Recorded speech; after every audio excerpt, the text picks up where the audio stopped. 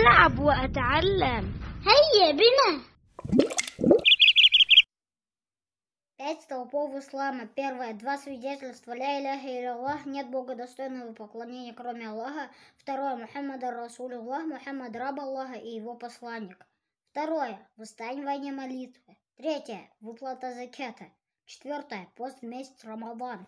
Пятое. Паломничество в Мекку, у кого есть возможность.